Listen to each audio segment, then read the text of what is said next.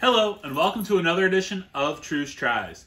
Today, I'm going to be trying the limited edition gingerbread Oreos. And I don't know, this feels like maybe this is something I tried before, but it was new at the store. I don't recall exactly, and it's gingerbread, and I know that I like gingerbread, and I know that I like Oreos, so here we are.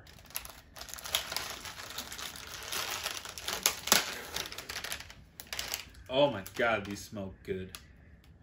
See, gingerbread flavored cookie, cream with crunchy sugar crystals, and five festive designs. This is a holiday cookie. So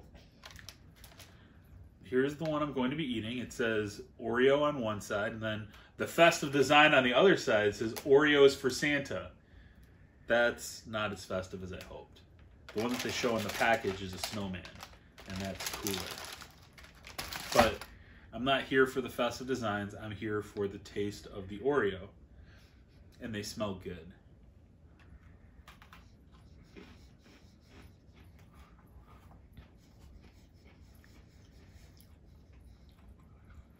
Okay.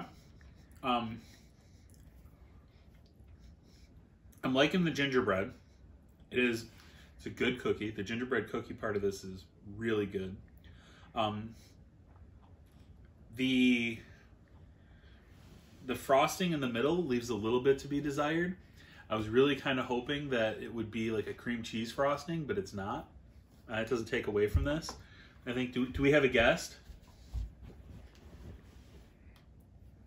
Did, did you want to try, Veronica? Yes. All right, we, we have a guest appearance. Veronica, say hi to the camera. Hi. Okay, you want to try? Oh, you, are you giving it a thumbs up? She gave it a thumbs up if you can't see. Um, I think I too am going to give this a thumbs up. The gingerbread Oreos, thumbs up.